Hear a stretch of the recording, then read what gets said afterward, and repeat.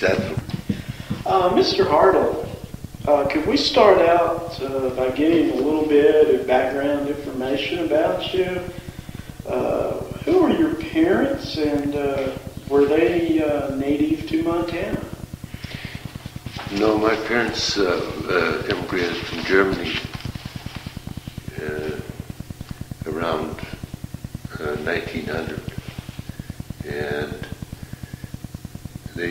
to Salt Lake, Lake City first, and then to Butte, Montana, where they s- spent most of their life. Uh, after he was 25, uh, he got here when he was 25 years old. Do you know the reason they settled in Butte? Not really. I, uh, my dad liked rugged country, maybe offspring of being in crowded Germany or something, and uh, uh,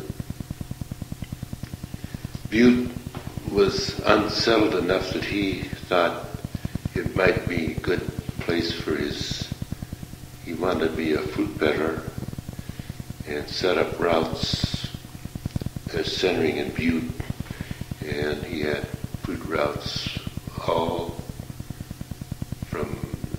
two-day trip through the Big Hole and through Bannock and Dillon and back to Butte, and he had other one-day routes from from Butte to Whitehall, Three Forks, where he would buy trade fruit for eggs and honey and which were scarcer in the big hole. In those days, he could get a good price for and potatoes, different things that were grown in that better, you know, smaller, better climate. And the big hole was his main main route and, and way to sell his fruit and vegetables. Well, what were some of the uh, fruits and vegetables that he sold, and uh, how did he get around? Did he have a car? Yeah, he uh, he bought. It was a quaint old. A lot of people don't even know Oldsmobile made a truck, but it was a big, uh, possibly a three-quarter ton, and it had that old cab that came in a big circle, and a tall windshield and open sides and uh, maybe there were curtains originally for it. We didn't even ride in the curtains, but we rode this old Oldsmobile truck all through the and, rough trips. This uh, my worst memory of, of fruit trips was that stretch from Dillon over that flat heading for Butte, and before you got to Glen, it was a long long, it seemed like forever, rough, rough road, dirt road. We used to go over every week. This trip was made once a week. Anyway, that's why he, uh, wanted to, he liked the independent life of uh, being, working for himself. And he wanted to be in a real unsettled country yet, you know, I mean, as far as uh, availability, fruit, vegetables. And he ended up knowing most of the ranchers. People still, I run into people still. He quit the business about uh, 15, 20 years ago. But you'll run into people all through the big hole and, and these, these different places. Remember Otto is the, they all call him Otto. And they remember him with a grin on their face because they used to love to see the fruit tr- truck come once a week, you know, and it was new.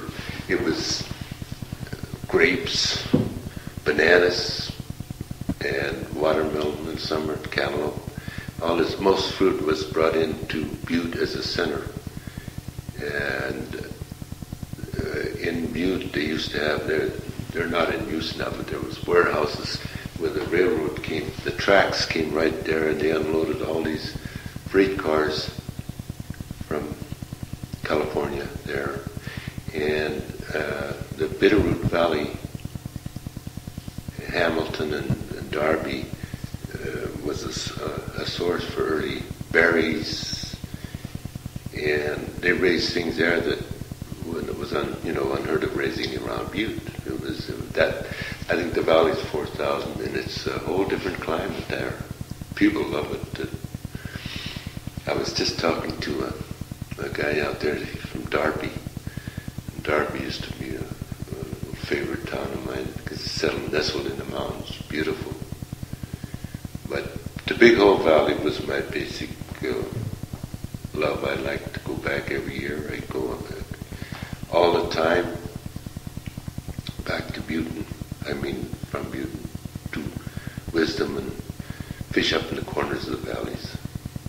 It's been great. You uh, said a little bit earlier that the fruit uh, came into Butte on the train from California. Uh, did your dad go down there once a week or once a day, pick out what he wanted? Three or four times a week. You'd want to get it fresh, get fruit and vegetables. And, uh, it was a business that you had to move fast because you bought it that day and then you had to drive it through these valleys in the summer. It uh, didn't last long on a, a, truck, no refrigeration and that. So it, it had it all had to be done systematic and fast. He, my dad would get up daylight, five down the warehouse. They opened those that early for, and there used to be uh, several old fruit peddlers operated out of Butte uh, competitively. Farmer, I mean, uh, uh, uh, one peddler, Jones was his name, is all I remember, but he used to be our very tough competitor. but there wasn't much competition other than that. Business, and uh, we picked. I remember as a boy we would be in these root cellars at, at Waterloo. It was a great potato country. They'd have these root cellars. He'd have me down in. We'd sort. We'd buy potatoes cheaper because we could. We'd sort out for the farmer. He'd and we'd do it. Sack these potatoes and he'd haul truckload after truckload to Butte and use those all winter to sell. That there was so many angles to the buying and selling that fruit, and he he, he got so into them all. He made good money, but he gambled. you know, Butte, wide open gambling, and in the winter there wasn't much fruit peddling going on. And he'd end up, and he'd start getting involved in games, gambling. Well, what were some of the uh, things that you remember about Butte? Uh, I'm sure that uh, you must have uh, come across miners at some point. I uh, I was a miner. I uh, I worked the mines for three years before the World War II, uh, and I worked during the war because you had uh, you know you, you could stay out for as long as you worked the mines. When I quit the mines, then I, they, they grabbed me for the Navy. But that uh, uh, the miners, at that time, Butte was going full blast. All these mines were rolling good. Mountain Con. I worked in the St. Lawrence mainly, and I had a brother-in-law that was a miner. Oh, what exactly did you do in the mine? Well, there was there's uh, little different jobs in the mine. There's uh, you can be a motorman with uh, a motorman takes these little trains for miles underground from the stations out, and in. the uh, the miners needed. They'd get in there from a night before blast. All this ore would be laying on the end of the tunnel, and that ore had to be loaded brought out the station and dump and shot up to the surface. In the meantime, there'd be one cage. They have it's like uh, offset elevators all the time. One used down to come down, go up with save power. And one would be hauling ore up and down and be hauling timber down. We'd take these timbers and into the miners and, and uh, let them get started. and we haul ore out there for several hours, and then bring them all the supplies they needed. And it was, uh, in those days, it was considered a rotten job, but at the same time, nobody wanted to quit the mines. They they, they made more money than anybody out in uh, in uh, farms, three times as much as a, a guy working at the ranches, which I done. I worked hay fields and Big Hole. I worked Melrose. When I was 15, I left home. I went through the eighth grade as all, and uh, I went to work for a farmer in Melrose, Howard Jones, and uh, but uh, it was the from there I went into warehouse, Safeway warehouse in Butte, Montana. They they brought watermelons in and frozen lettuce from the Imperial Valley. And I had a job loading those. Well, getting back to why I talked about mining and working these other jobs. Any other job, you have to work eight hours, and you're constantly having to work. Miners love that job because the harder their work, the quicker they were done, and they got to relax. And in Butte mines, they had uh, usually there's hot and cold spots. There was always some tunnel that was just right temperature. And these miners maybe get tired. Maybe they'd been out the night before. They'd go to this tunnel and lay out leggings. And maybe it's two hours before quitting time, three hours. If they finished by noon, they they had to be down there, but they would they didn't have to work.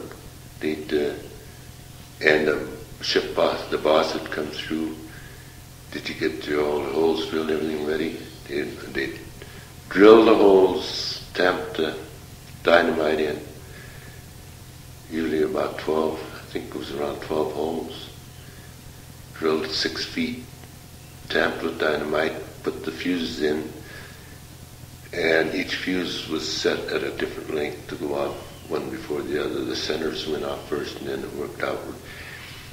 These were all cut to the exact length and tied in a, a little knot and ready to light. And you could only light at the exact right minute when you got off shift, so you'd uh, have nothing to do between. You go lay on, and they, had these planks, four by twelve, four by eight. They call them lagmen in the mines. Go find your leg and go to sleep. well, uh, what kind of things did the uh, miners do for entertainment uh, after they got off? Oh, most of them drank like oh, drank crazy. I, that's probably part. They, they talked about mining bad for your health, but the miners drank like fish. The uh, they'd go down to the bars and the bars would be open all night.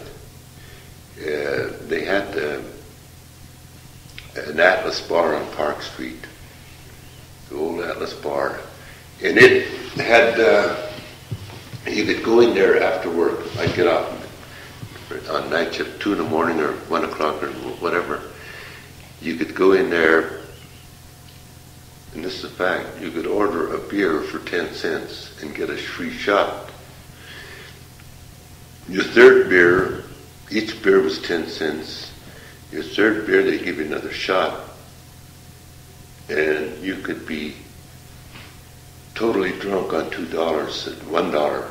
I mean, after working in the mines, you take a hot shower and you go down there, that hit you harder. But uh, $1 would get you thoroughly drunk. And that's a lot of their miners' entertainment. That's what the biggest thing was. You mentioned uh, going into the Atlas Bar. Do you, uh, what do you remember about it? Do you remember how it was furnished? Uh, what kinds of uh, things went on in there? It was a very long bar, and it was a, a busy place because of the price. And uh, the miners used to even drink free there because the bartenders would like these collected rocks. The miners packed, it was automatic packing out if they found any pockets of gold, fresh, uh, you know, good pockets of uh, rich rock or pretty rock. They'd hoard it down there, and the miners carried out the prettiest stuff out of the mines over the years, and any, even the Anaconda copper got. Uh, they trade these precious rocks for drinks, and they could come out with a bucket full of, of rocks, either sell it to the bartender or sell it to some people who was collecting it, and they they drank that way every night. They drank. They were an awful drinking bunch. Or are there uh, people that just uh, frequented the bar just to get these uh, rocks and, and There was a lot of that. Yes, people knew. People that wanted to collect rocks knew where to go for it, and uh, uh, my relatives, uh, most of them worked in the mines, and a lot of old timers there. And uh, this uh, one nephew worked in the pits after, and he'd come across big. I got a most beautiful rock. It was all different types of metal in it, and just this one big piece that weighs about 30 pounds. And he says he broke that out of a piece that weighed half a ton. Give him away, he never sold them. And that, a lot of precious rock went out of Utah. Not that way, but uh, that's all under the bridge. Uh, uh, about what year did you start working in the mines? Uh, about uh, 1939, and I worked there till uh, early 40s when the war was on.